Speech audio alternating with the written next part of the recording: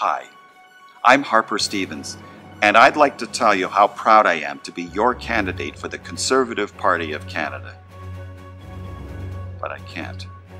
I'd like to tell you how proud I am of the great job the Conservative Party has done for this country. But I can't. I'd like to publicly debate my opponents and present my party's positive vision for the future of this country. But I can't.